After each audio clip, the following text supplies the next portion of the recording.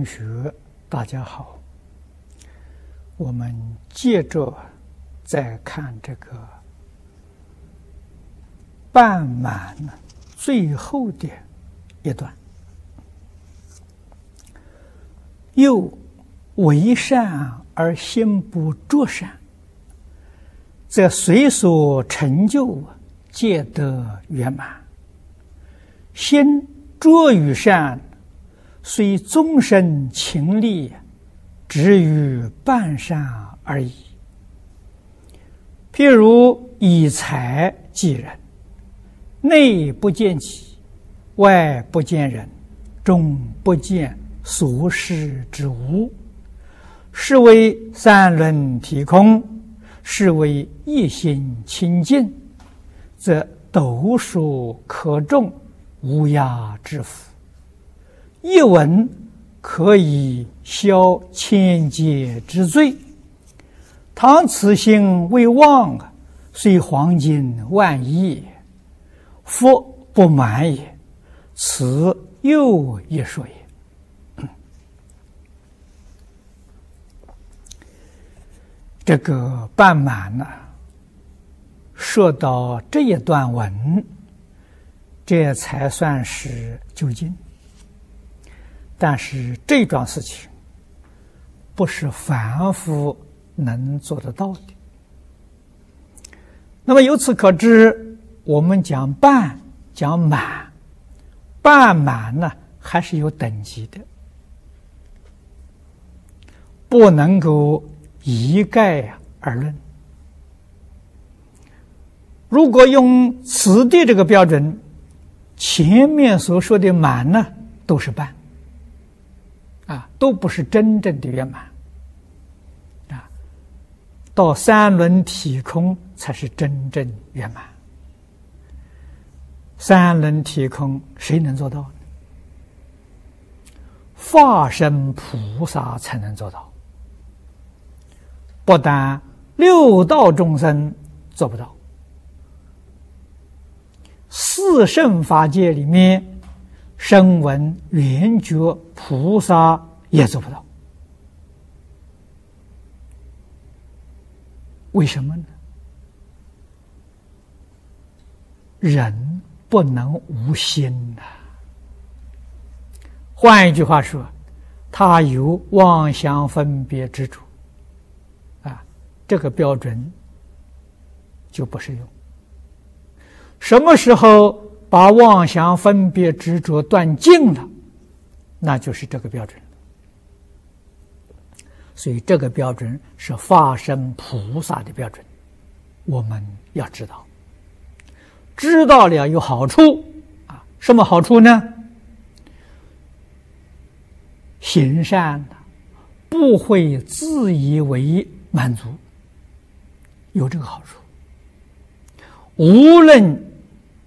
积多大的功德，自己心里面总是以为还不够多，啊，还是很少，这就好啊，啊，不会自以为满足啊，啊，你才肯认真努力发奋的去修善。这个道理你明白了，才知道啊！诸佛菩萨他们的善行念念圆满啊，无论他修的善事是大是小，无疑不圆满啊！为什么呢？因为他没有妄心，他用的是真心，用的是本性，真心本性是圆满的，所以用真心本性行事，无疑而不圆满。道理在此地呀，啊，这就是我们为什么要学佛，为什么？要发愿作佛，我们现在把这个文呢简单解释一下。啊，为善，心不着善，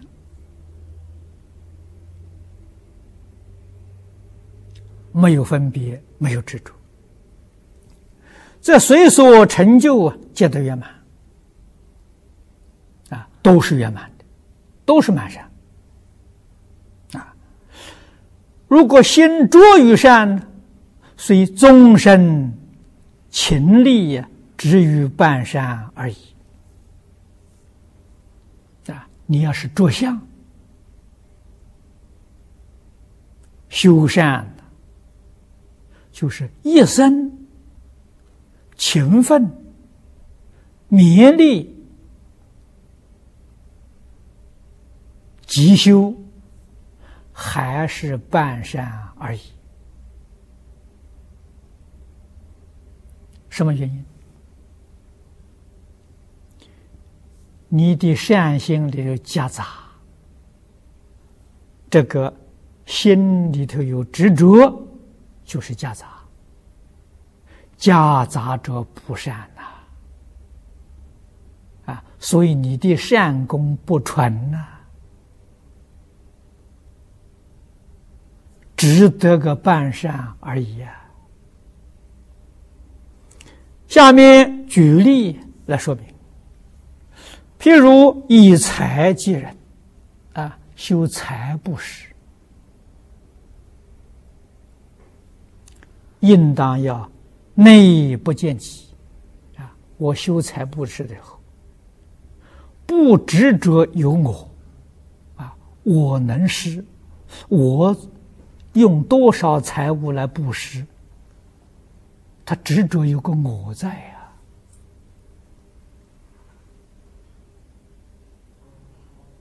这个心就不真不纯了。啊，外呢不见人，我布施的那个人也不要是放在心上。啊，我能布施。他接受我不是，你永远不会忘记啊！这个就是你的妄想分别执着，把你纯善的心破坏了。还要终不见所施之物啊！你不施多少钱财，不要去计较啊！常常行布施，常常有我布施，某个人接受我布施，我布施了多少财物？这样的心行布施啊，布施一辈子还是个半善啊！应该怎样才是满善呢？新加坡有个许哲居士，啊，现在很多人都知道他。我们去访问他，啊，做成录像的光碟，现在随着我们一一般光碟流通到全世界。啊，他今年一百零二岁了，一生修布施。他的布施是满善啊，他布施的财物不多啊，天天干呐，没有一天休息啊。他的满善的果报啊，大家看见了，非常羡慕啊。一百零二岁，身体健康，一点毛病都没有。我仔细观察，他就掉一个牙齿。他的体能的状况跟三四十岁的人一样啊，啊，所以他常想常说啊，我们要长寿，我们不要老，我们不要病。他一生没有生过病，啊，活到一百零二岁了，精神饱满，天天为一些老人、病人服务，那个服务就是布施啊！啊，外财布施，内财布施，他真的做到三轮体空了！他不知道有自己，他也不会把别人布施那个人。受他恩惠的人放在心上，他没有，他心底空空洞洞、干干净净，啊，也没有想到哦，我今天做多少事情，替做了多少好事，没有这个念头啊。他真正做到三轮体空啊，所以他的果报殊胜，没有人能跟他相比。心地真诚、清净、慈悲，就像《坛经》上所说的：“，本来无一物啊，何处惹尘埃呀？”我在新加坡这个三年，我举出许哲居士做例子，现身说法，你们相信不相信？啊，你们是不是很羡慕呢？羡慕要学啊！我们舍要舍得干净啊！有很多人不明这个道理，不明事理真相，不敢舍呀。认为什么呢？我都布施掉了，舍了，明天我怎么办？啊，谁肯布施我呢？所以，他念念不忘我，他就不敢真的放下。啊，放下是放下，放下一半呐，那一半是永远没有办法放下。因此，他修的善只有半善，不能达到满善，他的果报只能得到一半。不能达到圆满，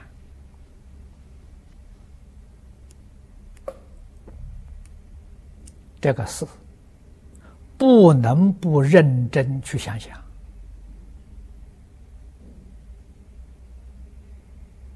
如果你对这个道理了解不够透彻，你行善不彻底，啊，要想祈求圆满的果报。那是不可能的事情。佛在一切经论里头，常常开导我们呐。一个人一生的财富从哪来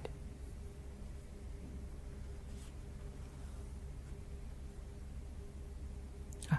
你得财富是果报啊，果必有因。财富的因是什么呢？财布施啊，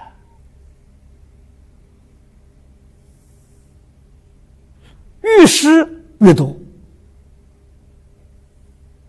啊！不会说我布施，我把这个财布施出去之后了，后面没有收获的，这个不可能啊！你布施是种因，种瓜得瓜，种豆得豆啊！你种的多，你一定收获的多，这是一定的道理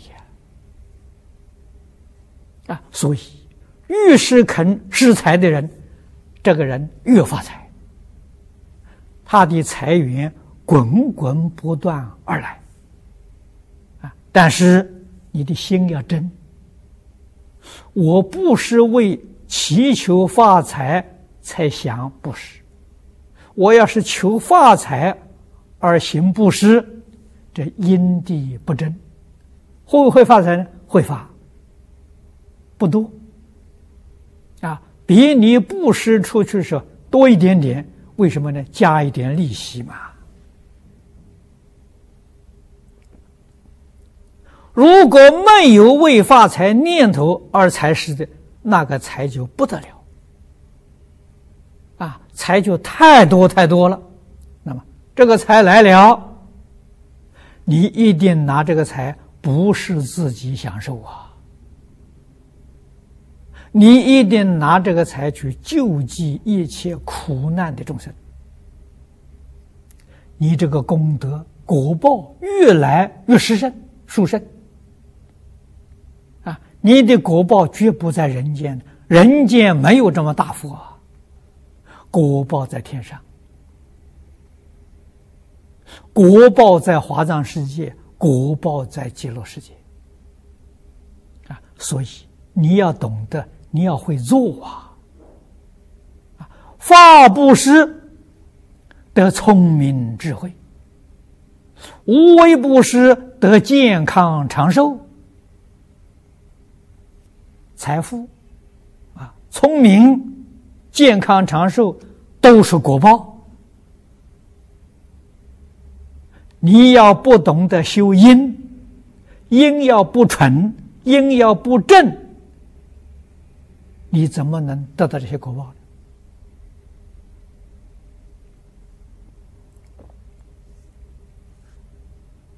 我们在许许多多同修当中，这些话我们不能够勉强劝人的，勉强劝人。人家还以为我有企图，啊！我劝他财布施，哎，这个法师贪财，你看看他动脑筋想要我的钱，不能说啊！只有在讲经说法的时候多说一些，让他听到自己觉悟啊！啊，我不要人的钱呐！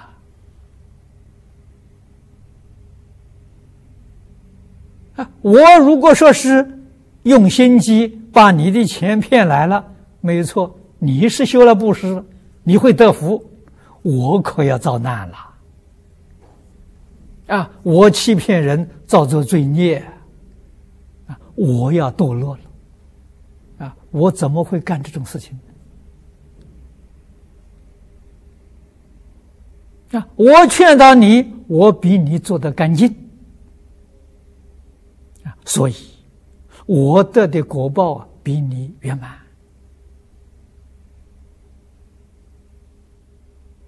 啊！财圆满，这个圆满不是说我有很多的财富，不是的。我每一天生活不缺乏了，这就是圆满了。啊，你有万亿财产，你每一天也是。日中三食嘛，这个日日食三餐嘛，夜眠六尺嘛，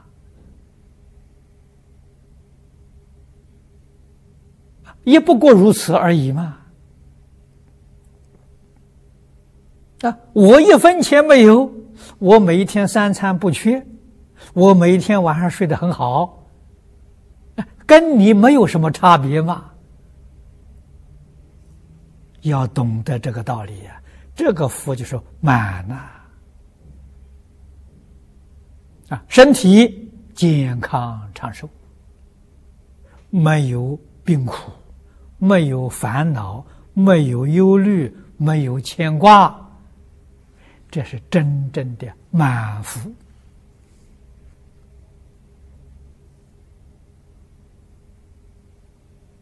啊！我这个。接触佛法、修学佛法，今年整整五十年了。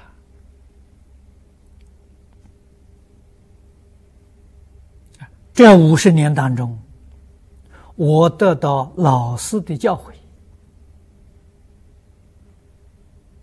啊，让我破迷起信。接着依教奉行啊！当初初接触的时候，老师告诉我，修学佛法是人生最高的享受。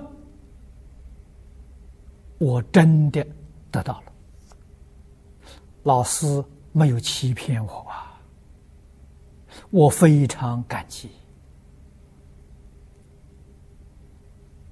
啊，我这一生如果没有遇到这个法门，我自己知道，这一生会过得非常痛苦。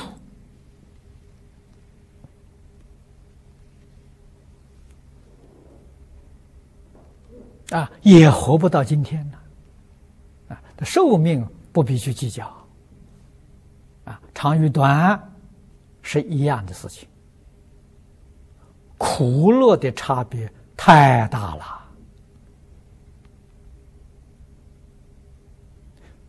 死后那一个果报差别。那就难以想象了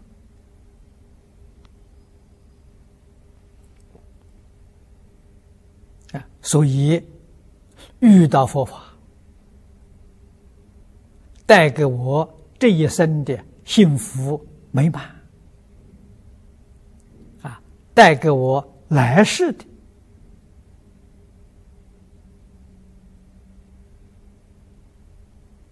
我相信。决定超过这一生许多倍的福分啊！所以这个道理要懂，事实真相要了解啊！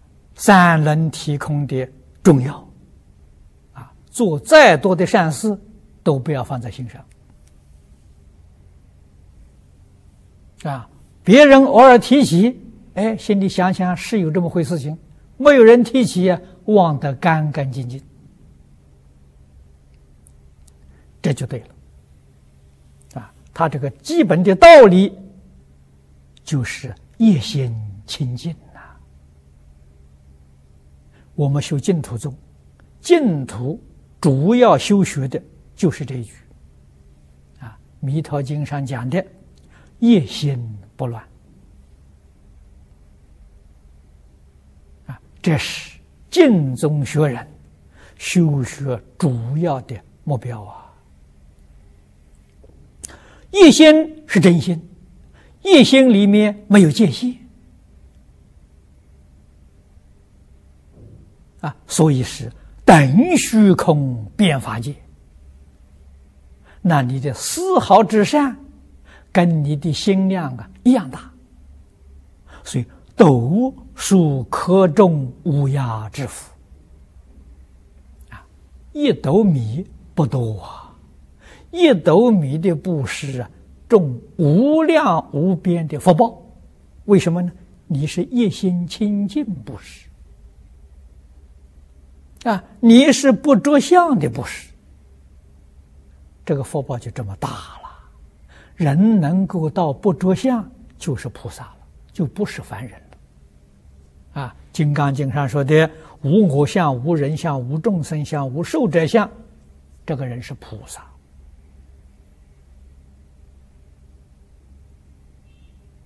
啊，如果这个人着相，啊，经上讲了，有我相、有人相、有众生相、有寿者相，即非菩萨。啊，所以菩萨与非菩萨的差别，《金刚经》这个标准太好了。啊，你心里还有我，还有人，哎，还有是非，你是凡夫，你不是菩萨。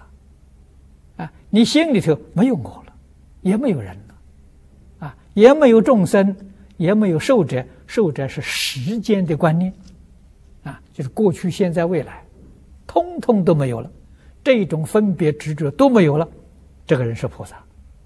这个人呢，一斗米的布施，福报是无量无边；一文钱的布施，可以消千劫之罪。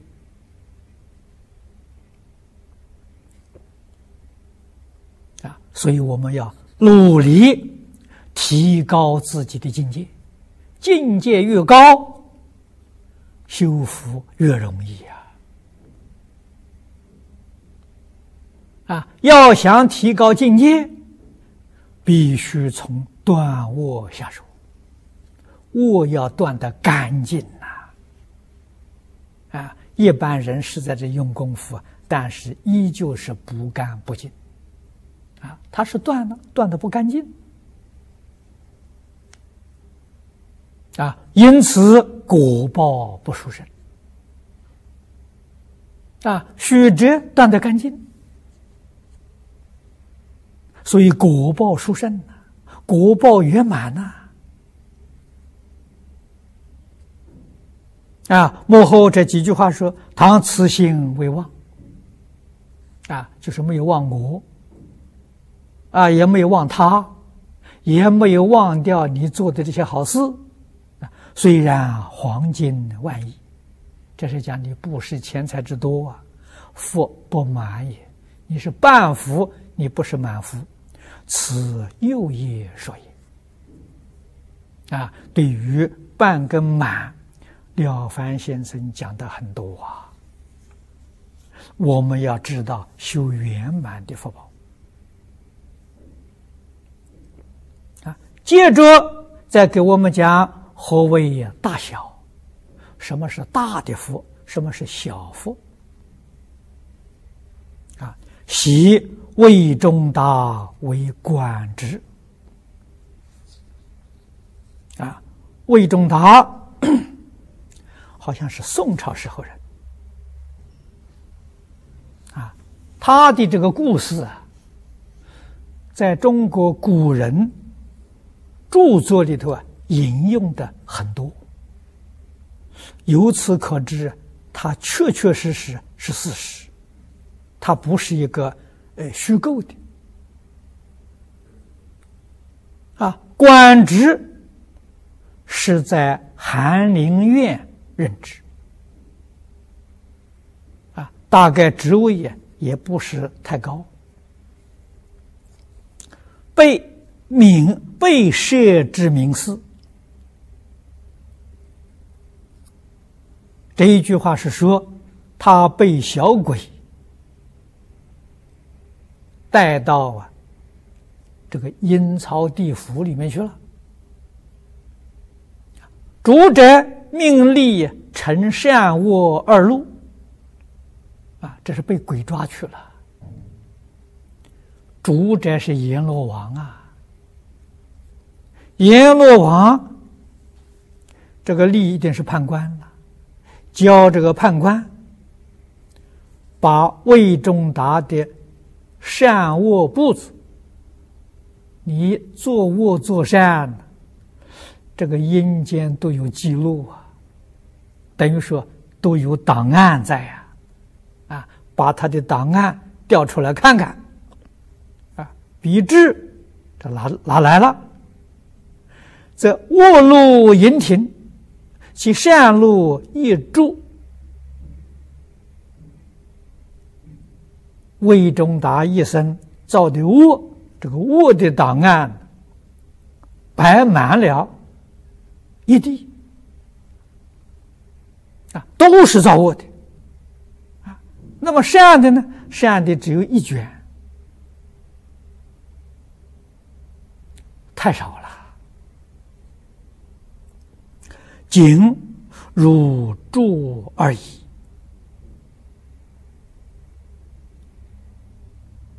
啊！这个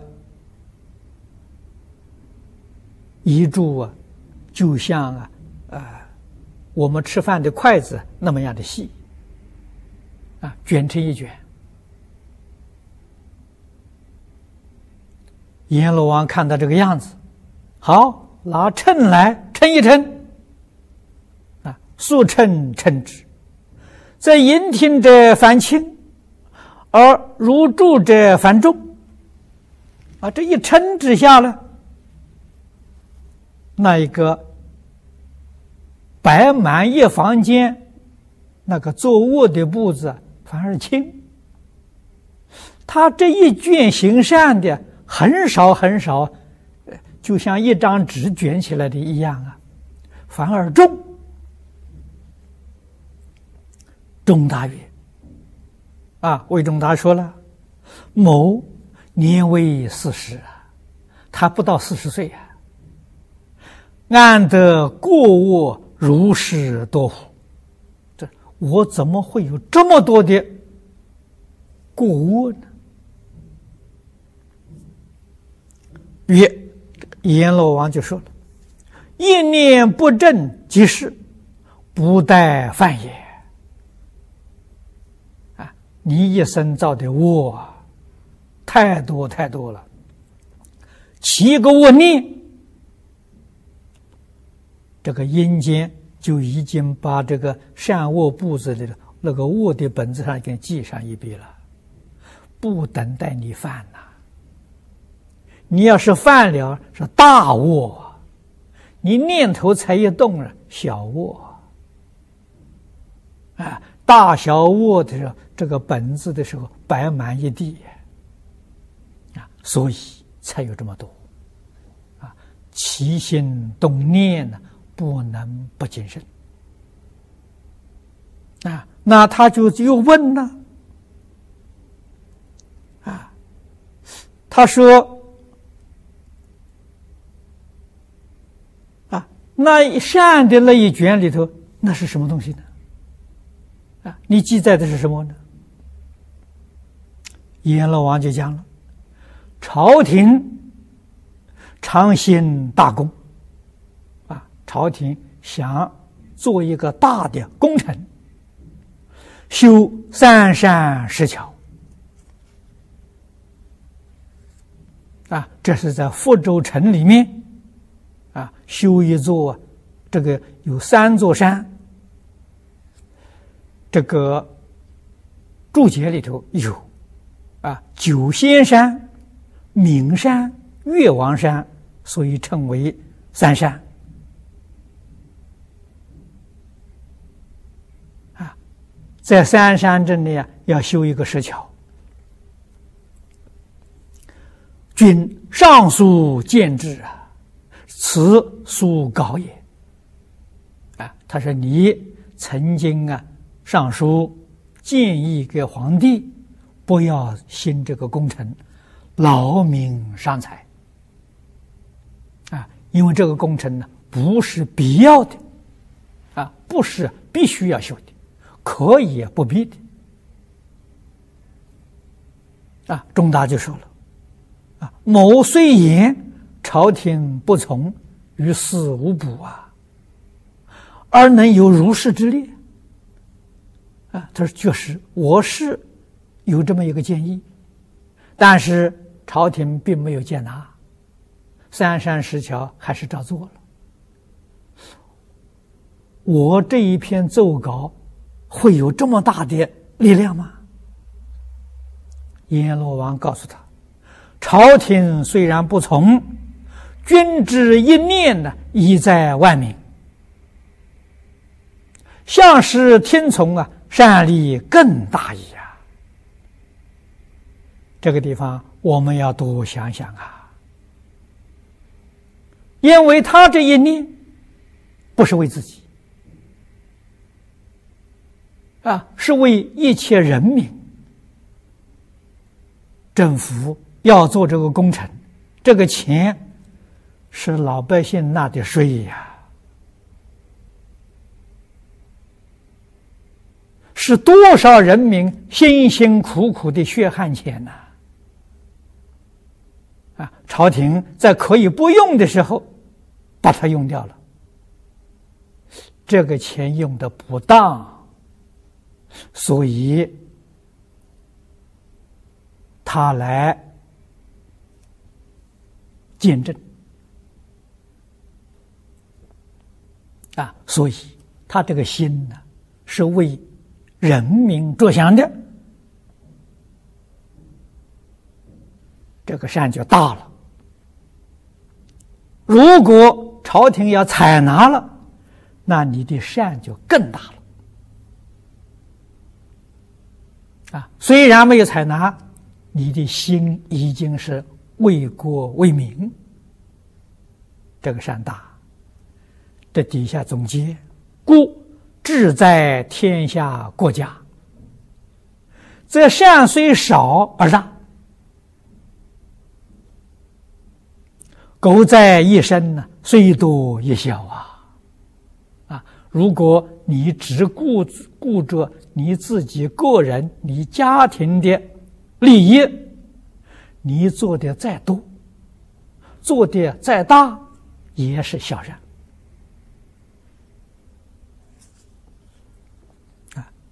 这个道理还是佛法里面所说的“境随心转”呐。所以，我们存心一定要为众生啊！你为众生这个境界越广大，你的这个善的力量越大啊！我念念啊，为这个深圳市，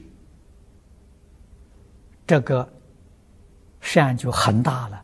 深圳市居民有四百多万，啊，我今天在报纸上看到的。如果包括到这边来做生意，不是定居的，啊，这些旅游的人，啊，人口达到七百万呐。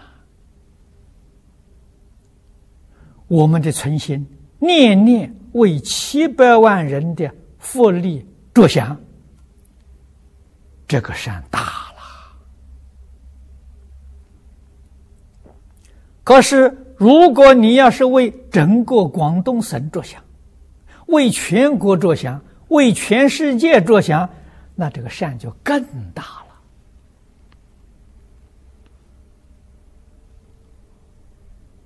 啊！但是如果要比化身菩萨呢，我们这么大的善。为整个世界人着想的善呢，还是半，还不是满？为什么呢？发生大事，起心动念是尽虚空变法界，不是为一个世界，不是为一个星系呀！我们讲太阳系、银河系，不是的，那还小啊。化身菩萨起心动念呢，是为尽虚空变化界啊，所以人家那点滴之善都不可思议，都无量无边。这个道理、事实真相，我们一定要懂得！怎样去学古圣先贤？诸佛菩萨修集大善。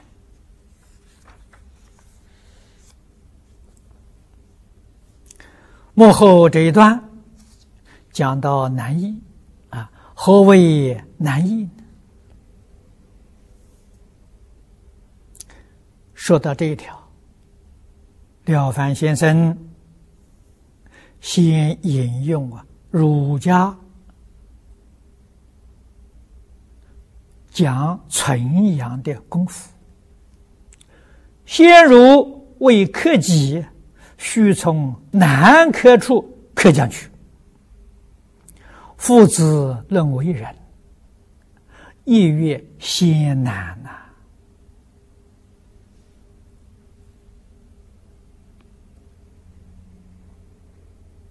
啊，先要从难的下手。容易的，自然就都做到了，啊！所以他说，古时候儒家讲求克己的功夫，可以说克服自己的烦恼习气，啊，要从哪里做起呢？要从难克服的地方克下去。譬如我们一般人，有人贪财、爱财，啊，有人好色、贪色，有人好名、贪名，哎，每一个人烦恼习气不相同啊。怎样克服自己的习气毛病呢？自己泄气的哪一条最重？啊，譬如我对财看的最重，贪财这个念念头烦恼习气最重，我要从这一条下手，其他的都容易了。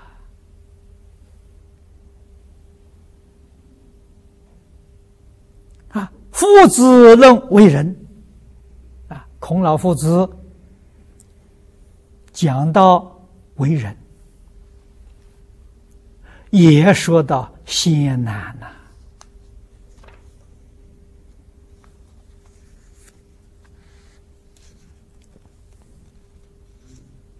啊，换一句话说，如何能做到人，也必须从难的地方下功夫。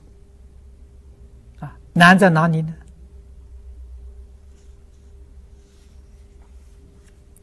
难在你要想做一个人人，必须要把自私自利克服掉啊！自私自利难呐。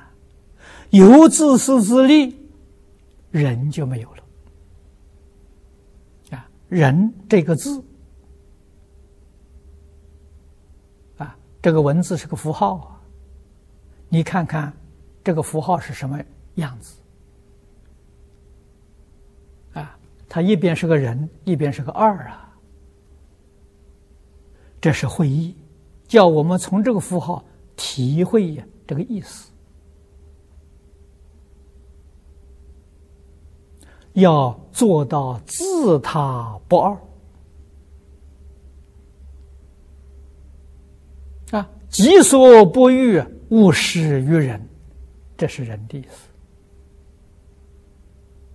思啊。想到别人，立刻就想到自己；想到自己，立刻就想到别人。这叫做人啊。佛法里面讲。自他不二，自他是一，不是二啊。那么换一句话说，如果我们有私心，有自私自利，人这个字就没有了。所以，菩萨称为仁者，啊，这在佛法里面经论里面，佛常常称菩萨，啊，称仁者。啊仁者是菩萨，没有自私自利。前面跟诸位举过例子，《金刚经》上讲：“无我相，无人相，无众生相，无寿者相。”这种人是仁者，这个标准高啊！所以夫子说：“先难呐，啊，克服自己自私自利这个念头难。”要从这里下手，在佛法讲呢，无我啊，要从无我相这个地方下手。下面，了凡先生举几个例子啊，当然这几个例子还没有达到父子论人的标准，这个标准太高了，那是圣人的标准。啊，是佛菩萨的标准，不是凡人。啊，那么现在把这个放下，我们先来看看凡人。比如江西书翁，啊，江西有个书老先生，写二年仅得之素修，代偿官银，而全人夫妇啊，啊，这时有一对夫妇。很贫穷，大概欠了这个国家的税收，啊，没有办法完纳税收，遇到这个舒老先生，舒老先生也不容易啊，他是个教书的，啊，大概是个教私塾的，两年。得到学生一点素修，就是一点供养，不多啊！啊，遇到这个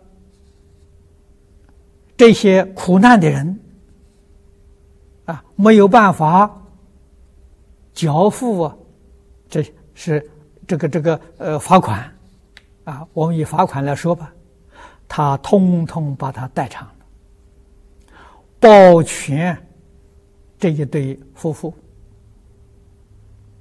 这个不容易。啊，在有钱的人做这个事情不难呐，没有钱。两年辛辛苦苦教书的收入，啊，都帮助别人了。啊，那第二个故事呢，与邯郸张欧。啊，邯郸张先生，啊，这张老先生，写十年所及之前，待完书也。而何人其子？啊，他也是遇到一对可怜的人，这一家可怜的人，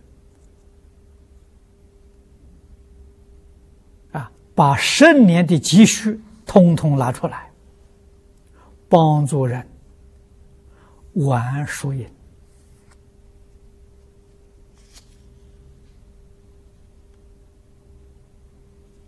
啊，成全。这一家人，皆所谓呀，难舍处能舍啊，这不是一般人能做得到的啊。如镇江景公，所以年老无子，不忍以幼女为妾而还之邻。这是一个呃邻居。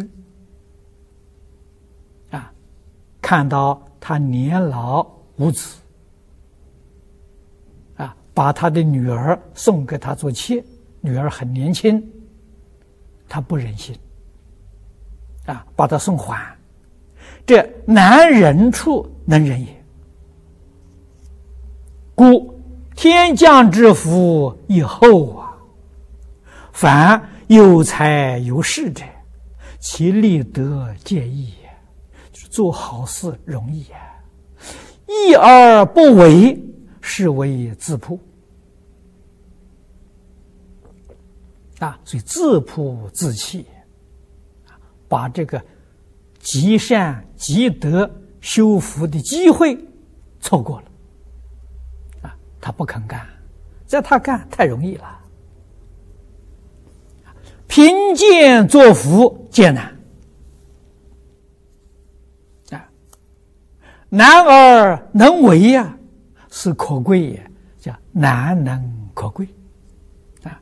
举的例子都是非常贫穷，在社会上没有财富、没有地位，你看看到别人有急难啊，他能够不顾一切。把他的全部财富拿出来，就帮助别人，解决别人的困苦，这是难能可贵呀。所以他们的果报也厚啊。但是我们要明了，他当时做这个事情的时候，只是知道帮助解决别人的苦难。没有想到自己的果报啊！啊，如果想到自己的果果报啊，可能他就不干了。所以，这个八段文字我们都了，我们自己一定要晓得：自私自利，名闻利养。五欲六尘，贪嗔痴慢，这十六个字必须克服。这十六个字不能克服，我们这一生断恶，恶断的不干净；修善，善修的不圆满。啊，总是一些小善。半善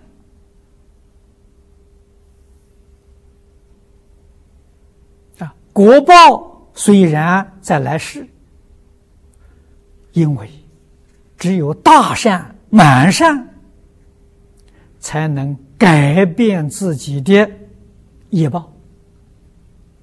像了凡先生他做的，他改变了命运。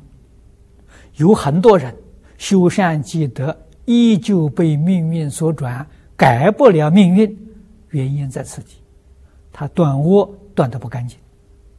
修善修的不圆满，道理在此地呀！啊，如果在学佛，学佛的目的是要开悟，是要求明心见性，是要求往生净土，那这十六个字啊，如果不把它克服，这十六个字就造成严重的障碍。不仅是明心见性被他障碍了，大彻大悟啊也被他障碍了。不仅如是，连我们求往生西方极乐世界呀，也被他障碍了。我们不能不知啊，所以念佛的人多，往生的人少。原因在什么地方？我们就明白了。好，今天就讲到这里。